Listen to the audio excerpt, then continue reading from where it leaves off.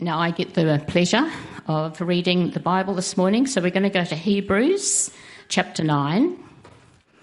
It's the only book that we're going to be reading from this morning, so there's no bouncing around. I'll give you a minute to find it.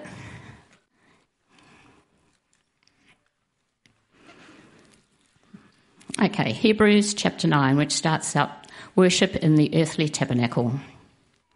Now, the first covenant had regulations for worship and also an earthly sanctuary. A tabernacle was set up. In its first room, there was a lampstand and the table and the consecrated bread. This was called the holy place. Behind the second curtain was a room called the most holy place, which had the golden altar of incense and the gold covered ark of the covenant. The ark contained the gold jar of manna, Aaron's staff that had budded, and the stone tablets of the covenant. Above the ark were the cherubim of the glory, overshadowing the atonement cover. But we cannot discuss these things in detail now. When everything had been arranged like this, the priests entered regularly into the outer room to carry on their ministry.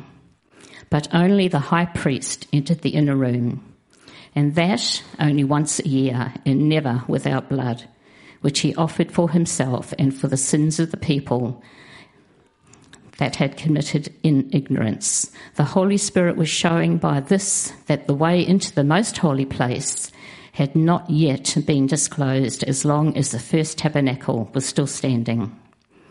This is an illustration for the present time, indicating that the gifts and sacrifices being offered were not able to clear the conscience of the worshipper. They are only a matter of food and drink and various ceremonial washings, external regulations applying until the time of the new order. When Christ came as high priest of the good things that are already here, he went through the greater, more perfect tabernacle that is not man made, that is to say, not a part of this creation. He did not enter by means of the blood of goats and calves, but he entered the most holy place once for all by his own blood, having obtained eternal redemption. The blood of goats and bulls and the ashes of the heifer sprinkled on those who were ceremoniously unclean sanctify them so that they are outwardly clean. How much more then will the blood of Christ, who through the eternal Spirit offered himself unblemished to God. He will cleanse our consciences from acts that lead to death, so that we may serve the living God. For this reason, Christ is the mediator of a new covenant, that those who are called may receive the promised eternal inheritance, now that he has died as a ransom to set them free from the sins committed under the first covenant.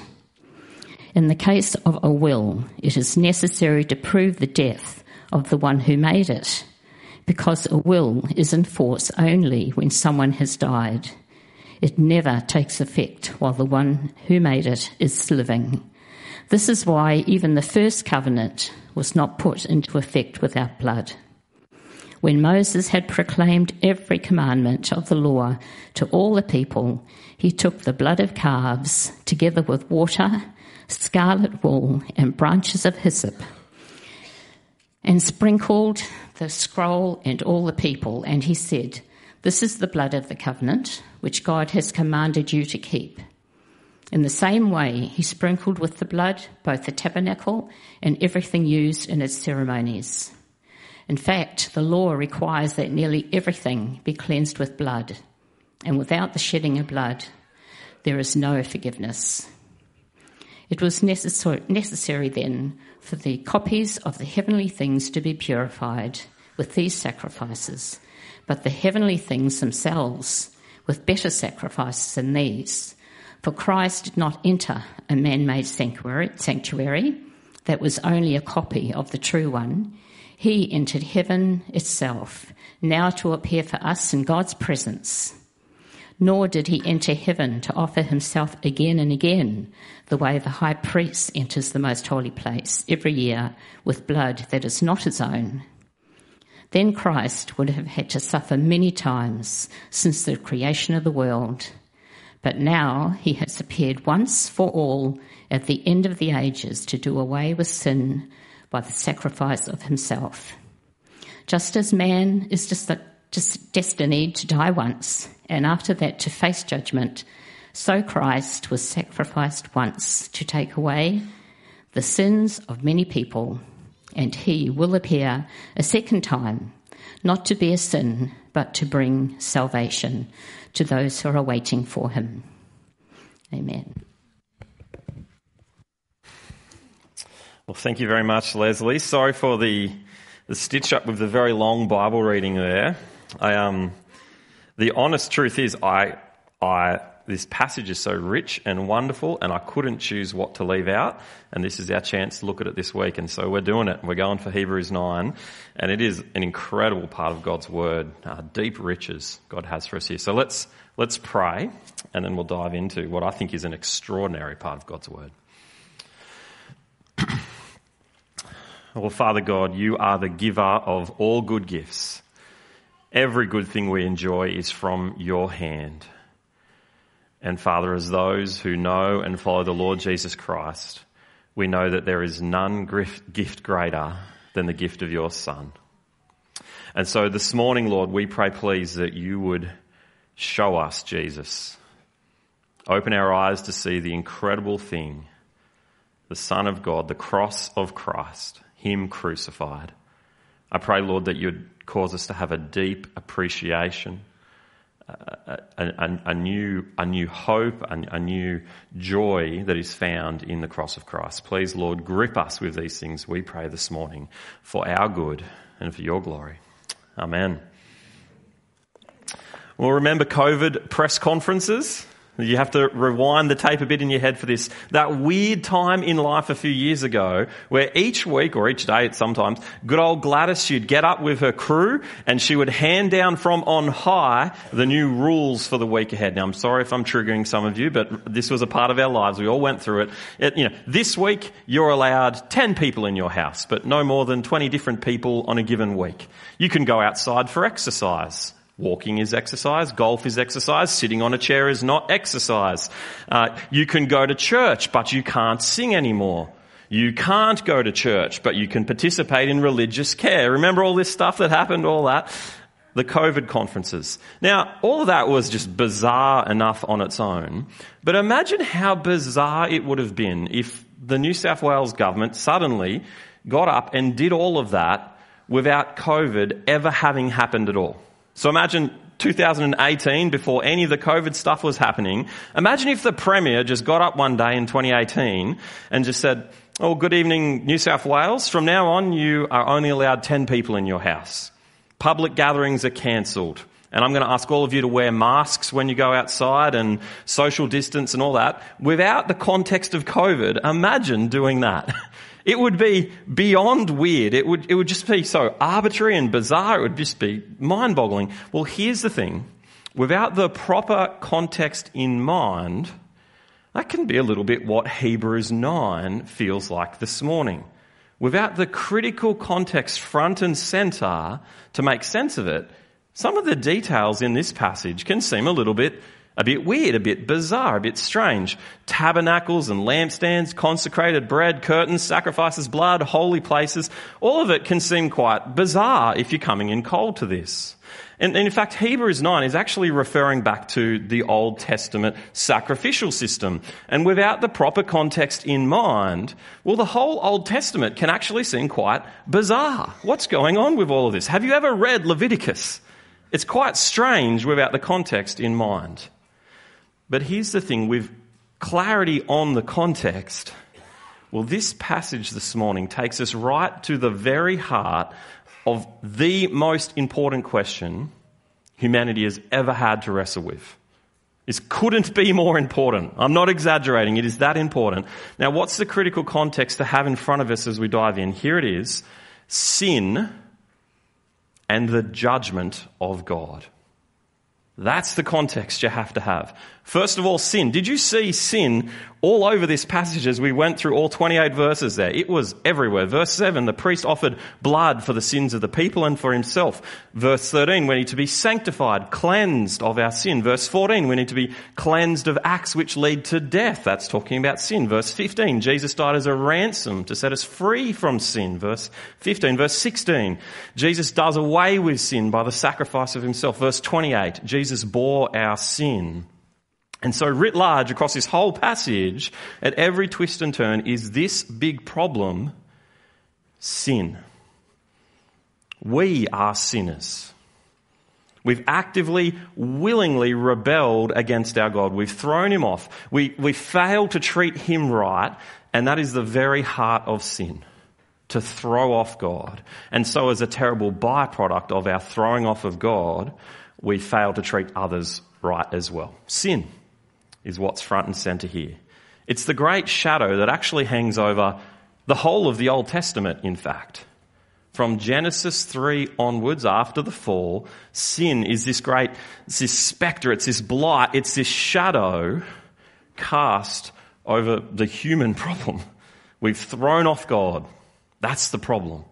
And the whole Old Covenant is written in response to this problem of sin. Now, the other context the judgment of an angry God. And the Bible's very clear. God is, is not okay with our sin. He's not chill about it. He's not just going to shake it off. He takes it seriously. And he'll hold us to account. Here's a strange question, but what is your destiny? Where are you headed in life? Well, look at verse 27 of our passage. This is some of the most sobering words in the whole Bible. Chapter 9, verse 27. People are destined to die once and after that face judgment. Now, I started by talking about the context of this passage, but really what we're dealing with here as you look closer is we're talking about the context of your life. This is the context of your existence. This is the reality which every single person on the planet, Christian, interested in this stuff or not, lives their life in. Here is your destiny. One day you'll die. And everyone agrees with that. We all know that to be true, even if we don't like it and we don't like to think about it. Deep down, we know it's true. And the second sobering piece is after that, we will face judgment. Now, I know some people will say to that, how barbaric, how could God be like that? Or there is no God, we just die and rot, that's the end of it. But the clear and sobering teaching of the Bible, Jesus himself said this more than anyone else judgment is what follows death. God will hold us to account for how we've lived. He will weigh your life, your actions, the secret things, your very thoughts, and in particular, how you have treated Him. He will judge. How, you, how will you fare on that day? Now you might be sitting here going, man, it's nine o'clock in the morning. Whoa, what a start to the day. I reckon I'll do all right when that day comes. But sorry, what was the first piece of the context again? The second piece is judgment. The first piece is we are all sinners. so two facts hang over us. We are sinners. We will face the judgment of God. Now that's a very heavy startup as we look at chapter 9 here together, but this is the context which hangs over this passage as God addresses us today in His Word. How can sinners stand before the judgment of a God who is rightly angry at our sin? Now, with that in mind, I'm convinced that the things God has for us in His Word here this morning are the single most important thing a person can wrestle with. And so let's look at this critical passage together. And first of all, see there in verses 1 to 10 that the Old Testament displays the great problem of humanity, the very thing I've just been talking about, in high definition. That's what the Old Testament does. See, verses 1 to 10 is a summary of the Old Testament sacrificial system, the temple system. And verses 1 to 5, it describes how the places were to be set up in the, in the tabernacle. Uh, verses 6 to 10, it describes the temple worship that happened there. And so let's have a look at it together because this is teaching us something really important. Look at verse 1. It says, Now the first covenant had regulations for worship and also an earthly sanctuary, a tabernacle was set up. Now, the tabernacle is like the, the mobile tent version of the temple. It's the place where God's people, prior to the temple being built, it's the tent that was put up so that they could come and worship God, make their sacrifices there. Later on, they built a temple and did the same things there. Now, how is it set up? Well, verse 2, it kind of works from the outside in. So this is moving in closer and closer to the center. Look at verse 2. In the first room, on the outside room, were the lampstand and the table with its consecrated bread. This was called the holy place, the, the holy place on the outside. Uh, behind the second ter- curtain was a room called the most holy place. As you move into the center of this temple was this place called the most holy place. This was the place which the Bible tells us is actually where the presence of God dwelt. Now you can see the details of how it was set up and what was in there, verses 4 and 5. But look down now to verses 6 to 10 and see what went on in this tabernacle. Have a look. In the outer room, oh, they did a whole bunch of ministry there, but in verse 7, the holiest holy place, verse 7, look what happened there. But only the high priest entered the inner room, and that only once a year, and never without blood, which he offered for himself and for the sins that the people had committed in ignorance. So you only entered the holiest of holy rooms in the center of the temple once a year under strict conditions, and only the high priest would go in. And when he did, he went in with blood to cover his sin and the sins of the people. And so death and sacrifice and blood were at the heartbeat of Old Testament worship.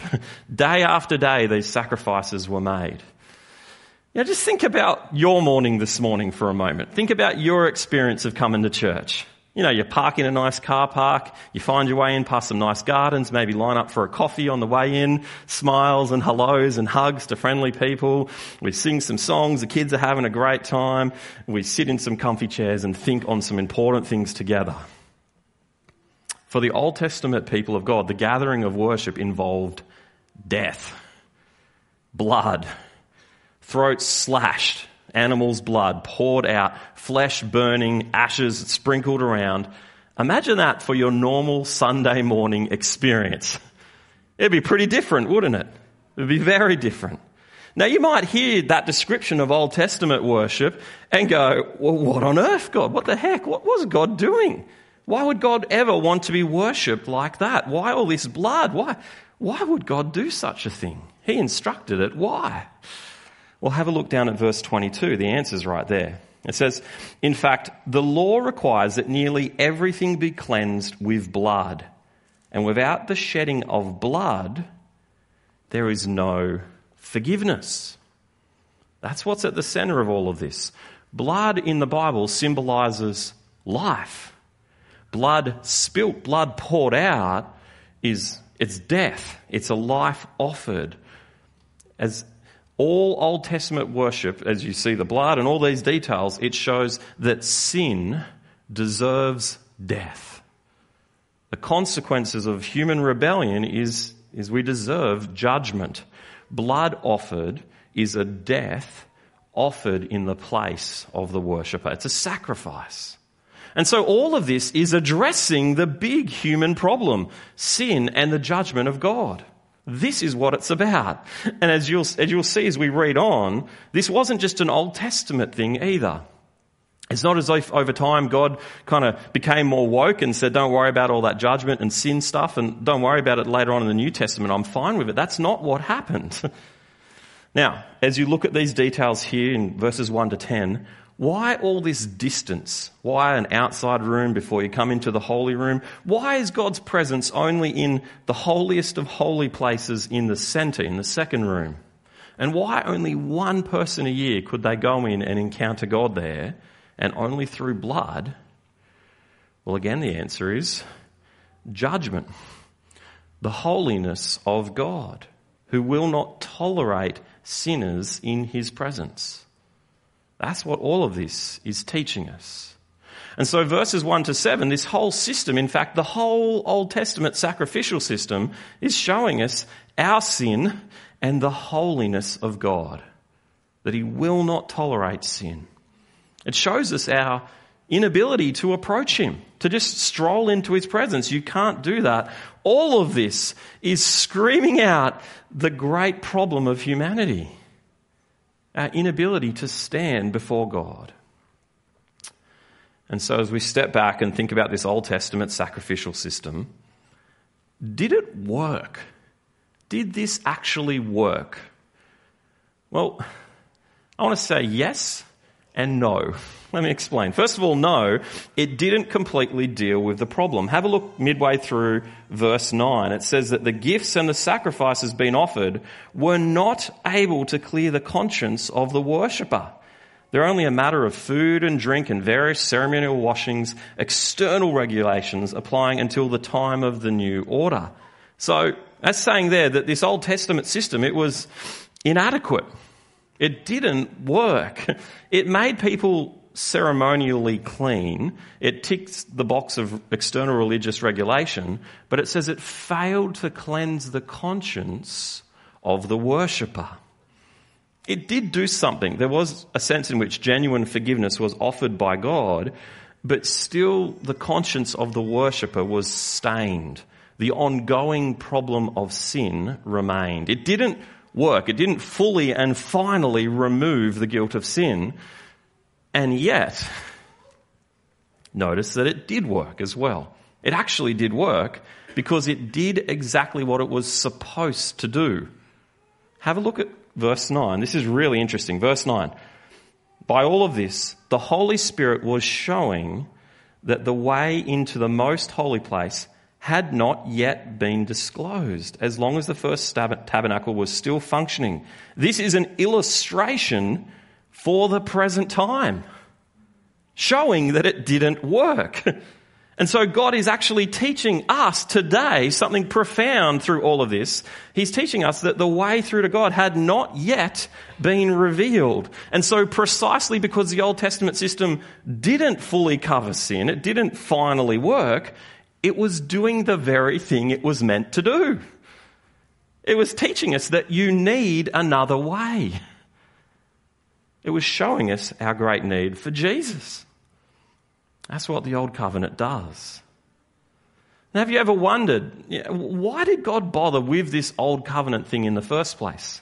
You know, last week, Dave took us through chapter 8, and at the end of chapter 8, verse 13, it says that the Old Covenant is obsolete, outdated, and will soon disappear. And you're like, well, that sounds like a waste of time. Why did God do that in the first place? Why not just jump straight to Jesus? Wouldn't that be better?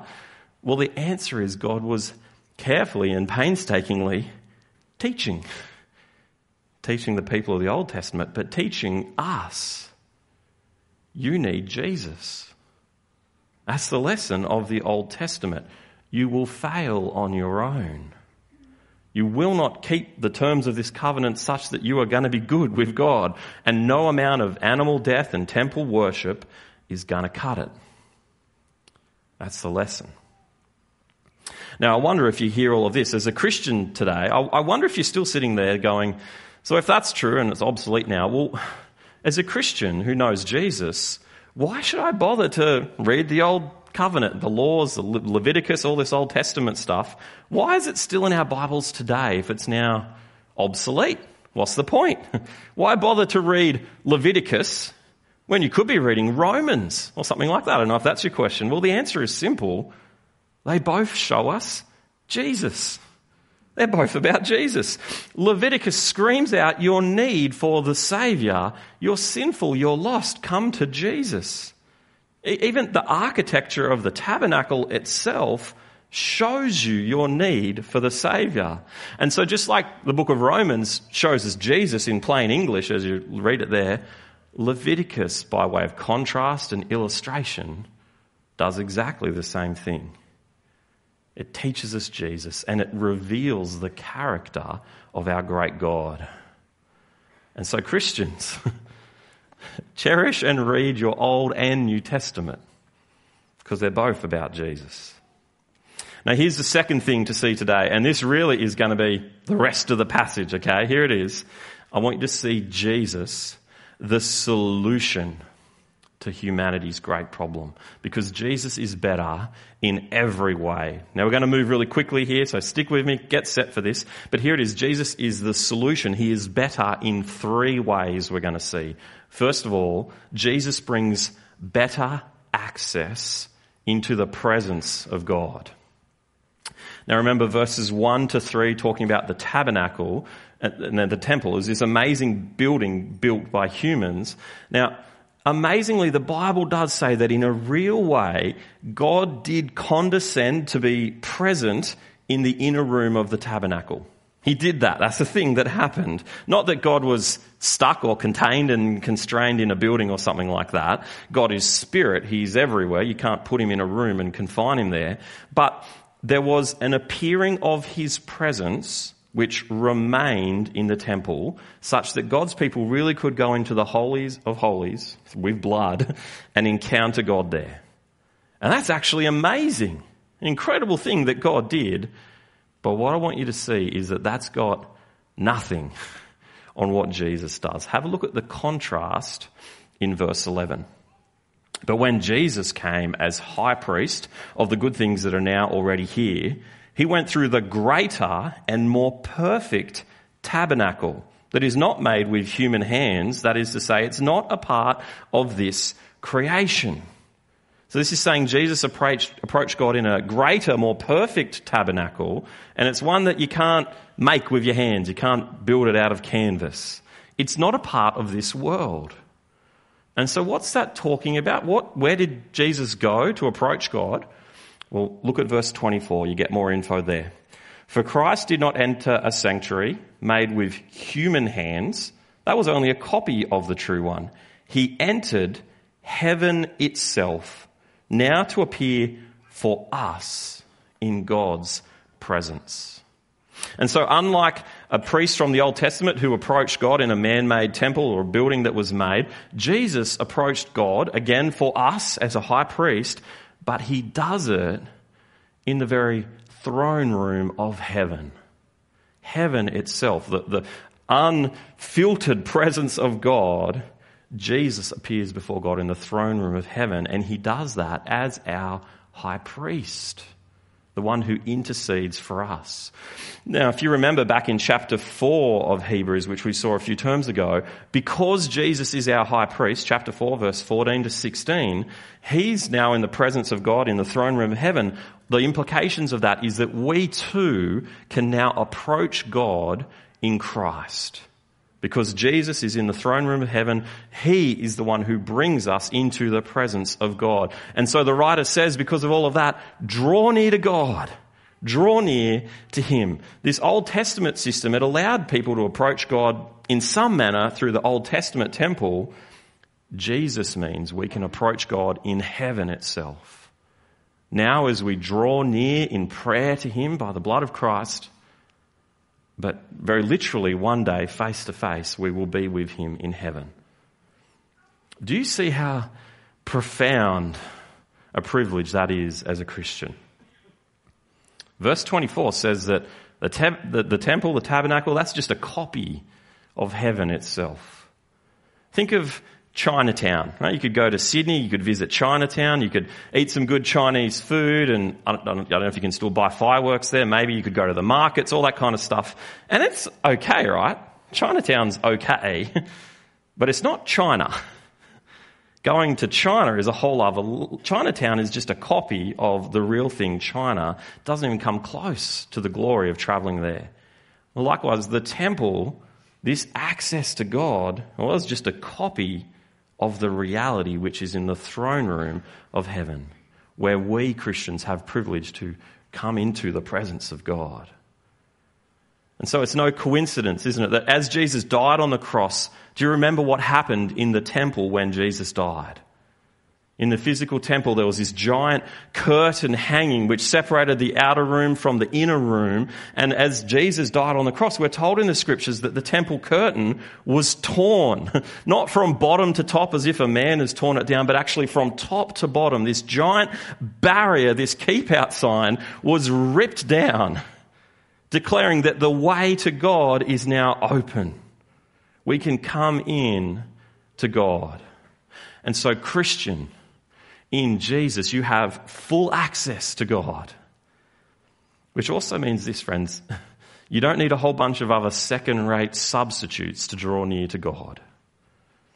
Some mistakes you could make here.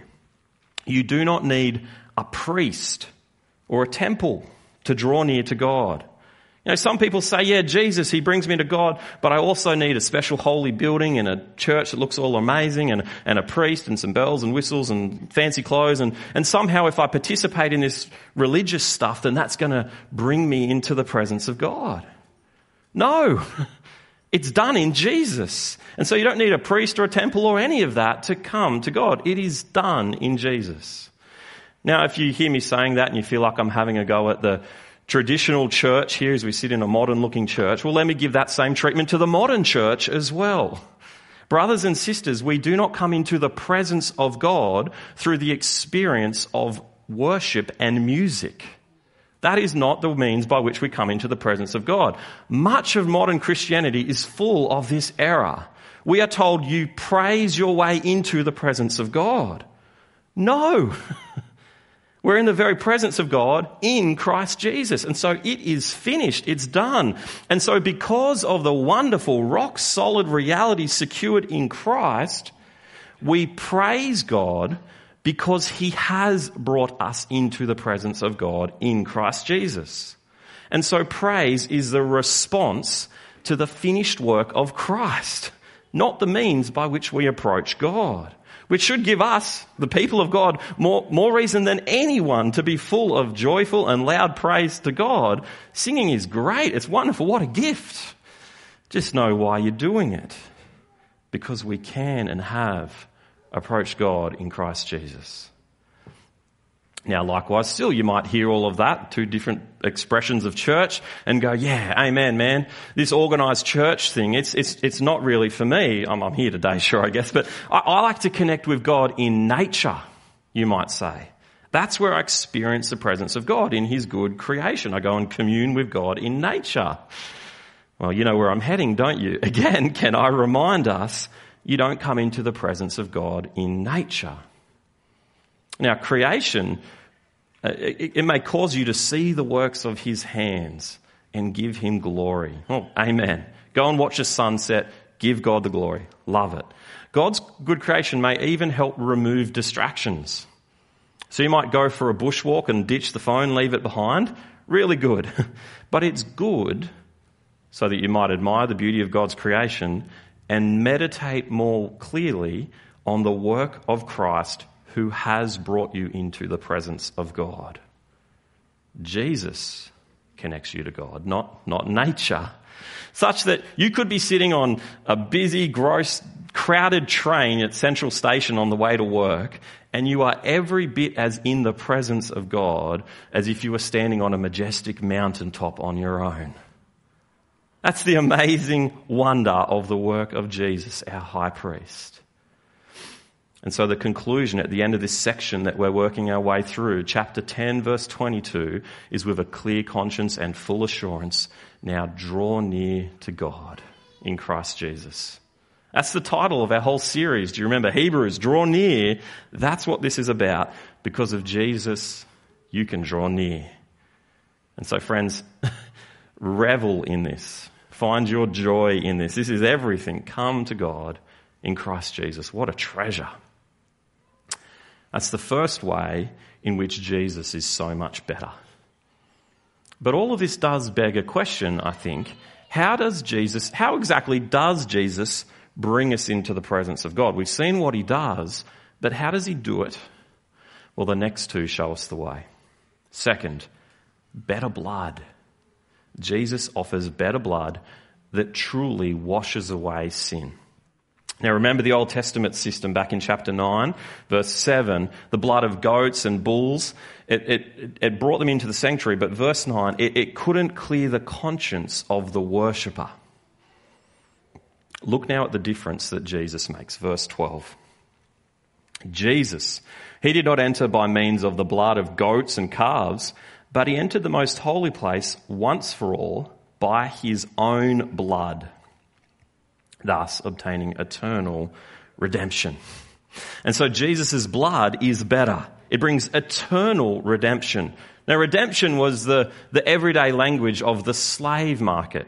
Uh, back in the time when this was written, where slaves were bought and sold in the market, you could go to the market and you could redeem a slave. You pay money and free them from slavery. Jesus pays with his blood and he eternally frees us from sin and the judgment of God.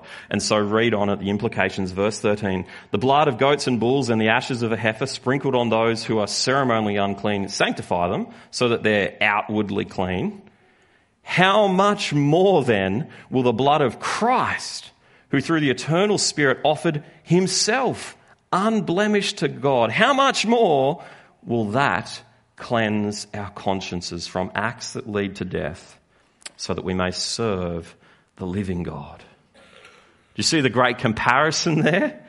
Jesus' blood does so much more. How much more does it do?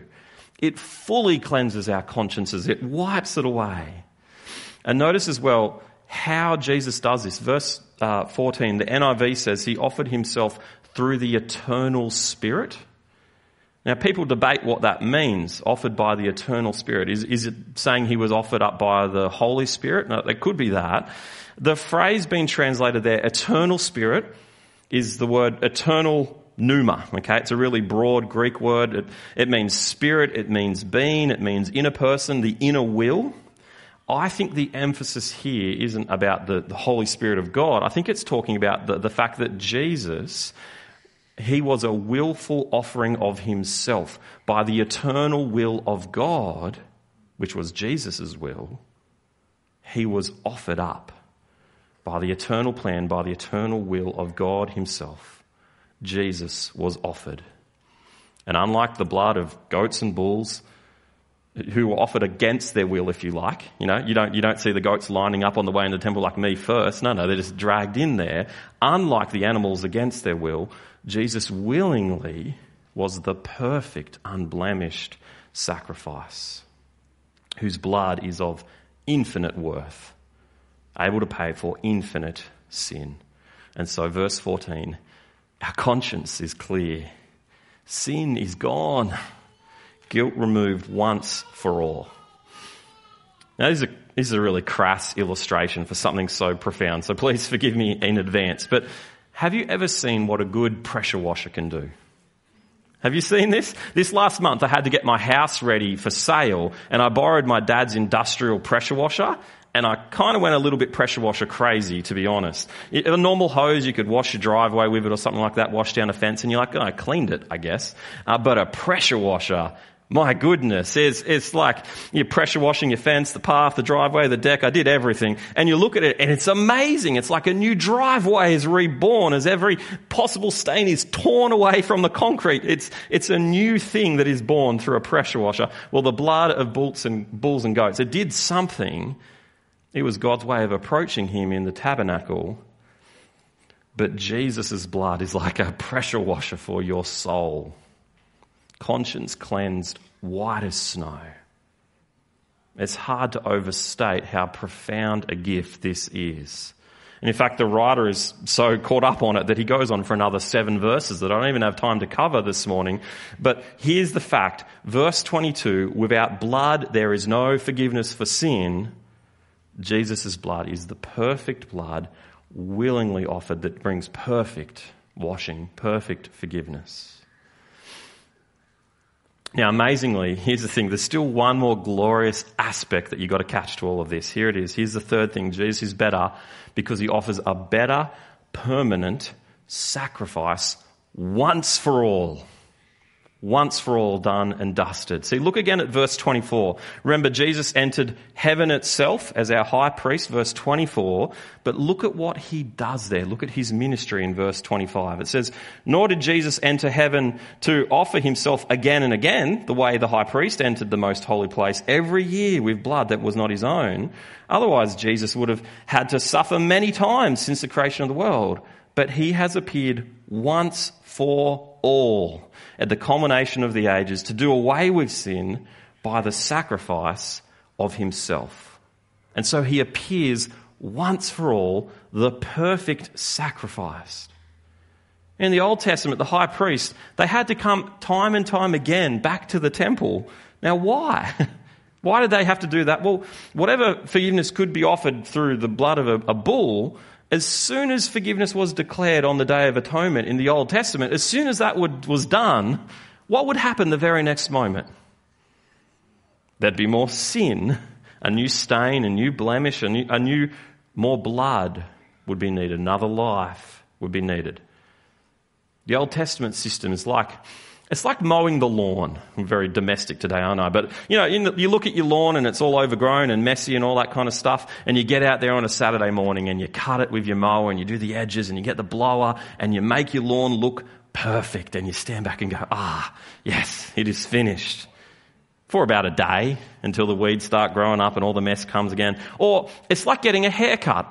Now, you might think that I'm saying that because I'm just trying to connect with those of you who are blessed such that you still need haircuts.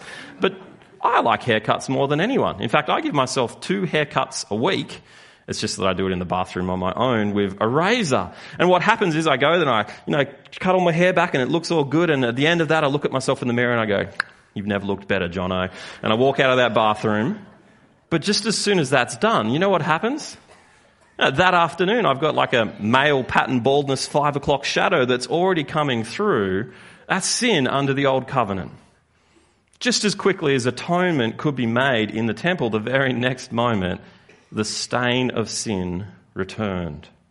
And so, day after day, year after year, sacrifice after sacrifice.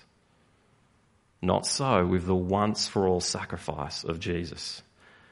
This is a really big deal, and he repeats this a bunch of times to make sure you get it. Verse 25. Jesus didn't enter heaven again and again to offer himself. Verse 26. He didn't have to suffer many times. Instead, he's done it once for all. And so look at how he finishes in verse 28.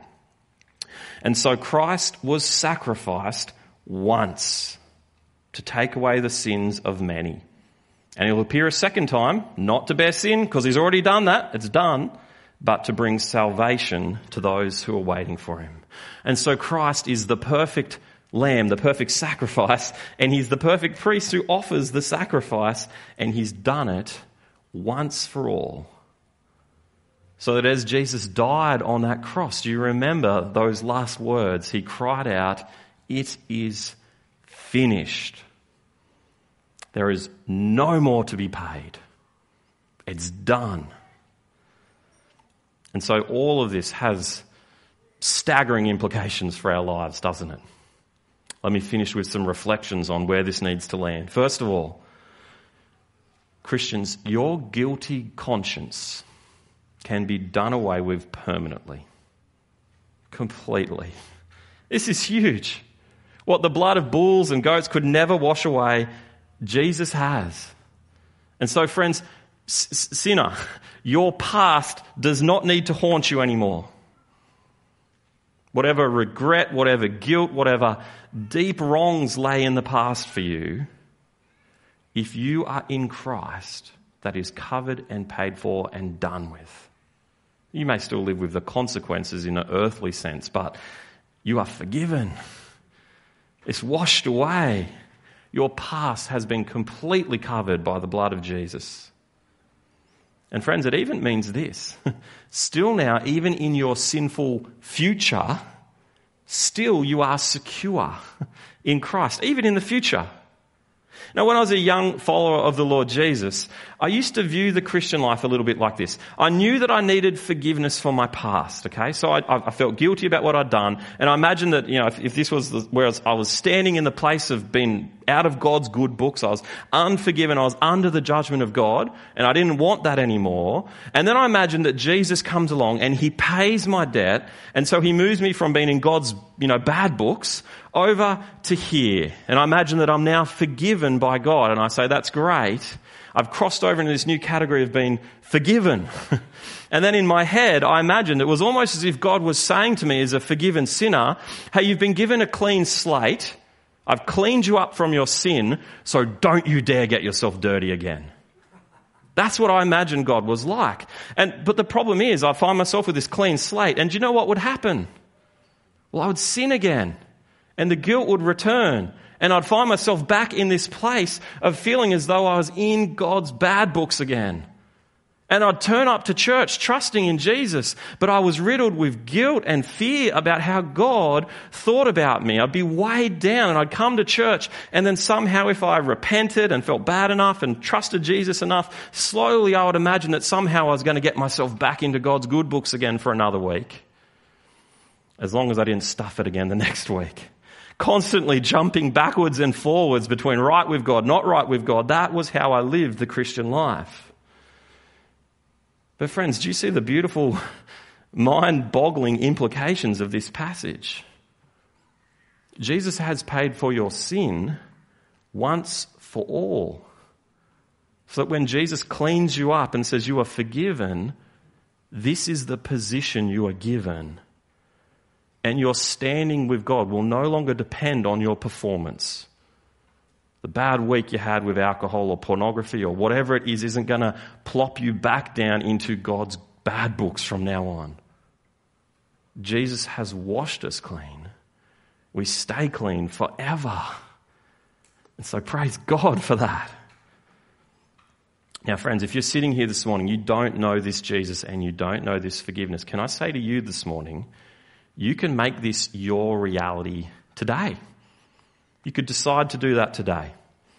You, know, you could have metaphorically walked in those doors a sinner who's lost and under the judgment of God. You could walk in those doors and you could make a choice. You could decisively choose to put your trust in Jesus, repent of your sin, and you will cross over to being one. I'm sure I've gotten confused here, my left and right, but you cross over to being one who is forgiven now in Jesus permanently change category.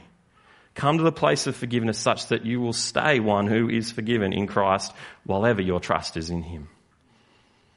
You can make that choice today if you'd like. Now, if you want to do that, come and find me or another pastor, pray with us. If you don't want to do that, go home, close the door, and pray to God yourself. That's what's on offer in Jesus. And it's amazing. And all of this finally means this, friends. We can have rock solid assurance of our salvation. If you're in Christ, you can be sure of your destiny.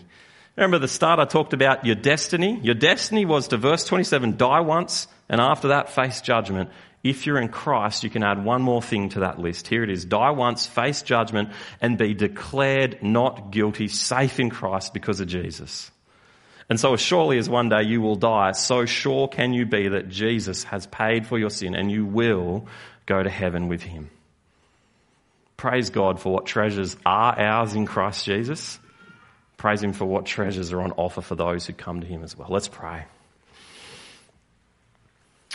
Oh, Father God, we thank you for the great gift of your Son.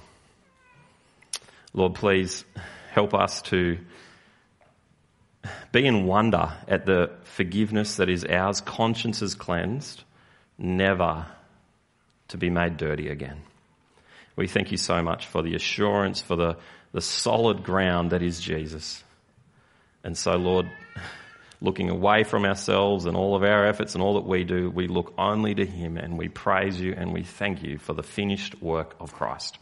Amen.